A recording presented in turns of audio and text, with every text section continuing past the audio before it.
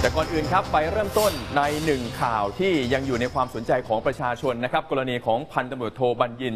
ตั้งพากรนะครับ ซึ่งเป็นผู้ต้องหาในคดีฆาตกรรมพี่ชายของผู้พิพากษา ขณะนี้ครับพันตำรวจโทบัญญินยังคงถูกคุมตัวอยู่ที่เรือนจำแต่ปรากฏว่ามีกระแสข่าวออกมานะครับว่าพันตำรวจโทบัญญินกำลังวางแผนเพื่อที่จะหลบหนีออกจากเรือนจำข้อมูลนี้นะครับทางตำรวจกองปราบปรามได้มาจากผู้ต้องขังสองคน ที่เพิ่งจะได้รับการประกันตัวออกจากเรือนจำออกมาครับค่ะ ซึ่งในทางคดีมีการเปิดเผยข้อมูลออกมาในเบื้องต้นนะคะว่าหนึ่งในสองคนนี้ค่ะ ได้รับการช่วยเหลือจากทนายความของพันตำรวจโทบัญญิน ที่เขาไปว่าจ้างทนายความอีกรายหนึ่งให้ไปช่วยเหลือสองคนนี้ ก่อนที่จะมีการวางแผนในการแหกคุกนั่นเองนะคะ แต่ว่าสุดท้ายแล้ว แผนการทั้งหมดถูกเปิดโปงก่อนค่ะ ล่าสุดนะคะมีการย้ายพันตำรวจโทบัญญินค่ะ ไปคุมขังที่เรือนจำบางขวางขณะเดียวกันลักษณะของการคุมขังนะคะ เป็นการแยกคุมขังเดี่ยว เพื่อป้องกันไม่ให้มีการติดต่อสื่อสารกับผู้ต้องขังรายอื่นหลังสัปดาห์ที่ผ่านมามีรายงานนะคะ ว่าพันตำรวจโทบัญญิน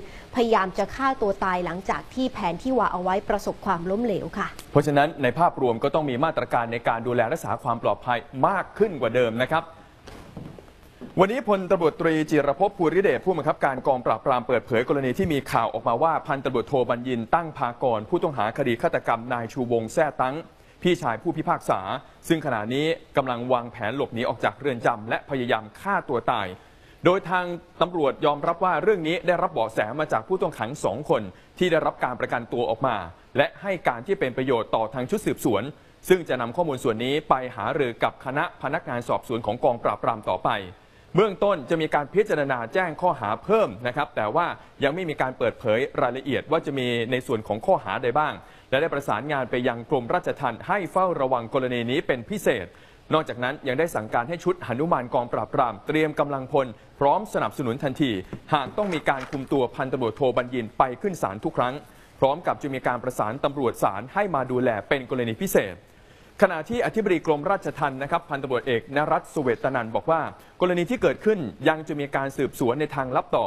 โดยถือเป็นความร่วมมือระหว่างกรมราชทัณฑ์กับตำรวจในการช่วยกันสืบหาข้อเท็จจริง โดยไม่ยืนยันว่าเรื่องของการวางแผนหลบหนีออกจากเรือนจำเรื่องนี้เป็นเรื่องจริงหรือไม่ แต่ยืนยันว่าที่ผ่านมากรมราชทัณฑ์มีมาตรการในการดูแลนักโทษทุกคนอยู่แล้ว แต่ตอนนี้ต้องมีการสั่งการให้เฝ้าระวังตรวจสอบเป็นกรณีพิเศษ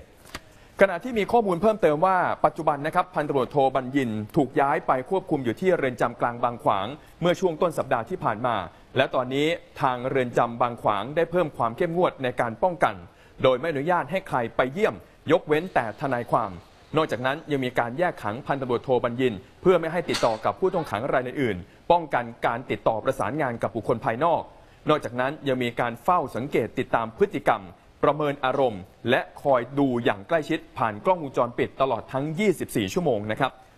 ขณะที่ศาลอาญาคดีทุจริตและประพฤติมิชอบกลาง วันนี้เตรียมเบิกตัวพันตำรวจโทบัญญินตั้งพากรมาที่ศาลในวันที่ 22 มิถุนายนนี้ เพื่อนัดตรวจพยานหลักฐานในคดีฆาตกรรมพี่ชายผู้พิพากษา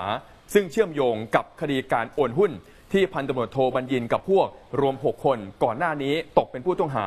ตามความผิดฐานร่วมกันฆ่าผู้อื่นโดยไตรตรองไว้ก่อน ฐานร่วมกันนวงเหนียวกักขังเพื่อให้ได้มาซึ่งค่าไทยกับข้อหาอื่นๆ รวมทั้งหมด 9 ข้อหาด้วยกัน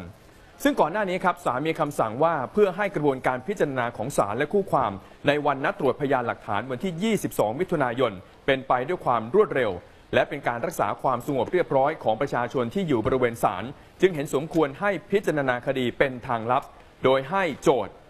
กับฝ่ายพันตำรวจโทบัญญิน ซึ่งเป็นจำเลยที่ 1 และทนายความทั้งจำเลยที่ 1 กับจำเลยที่ 2 มาที่ศาลอาญาคดีทุจริต ในการตรวจสอบและรวบรวมพยานหลักฐาน โดยห้ามไม่ให้บุคคลอื่นที่ไม่ใช่คู่ความเข้าห้องพิจารณาคดี ยกเว้นบุคคลที่กำหนดเอาไว้เท่านั้น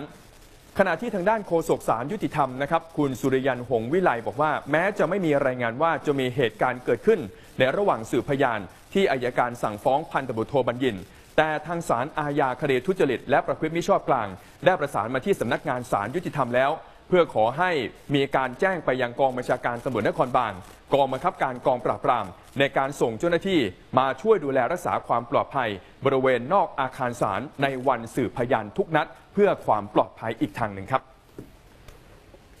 ขอบคุณที่ติดตามรับชม TNN ช่อง 16 นะครับ อย่าลืมครับ เข้าไปกด subscribe และกดรูปกระดิ่งนะครับ เพราะว่าเรายังมีคลิปวิดีโอที่น่าสนใจ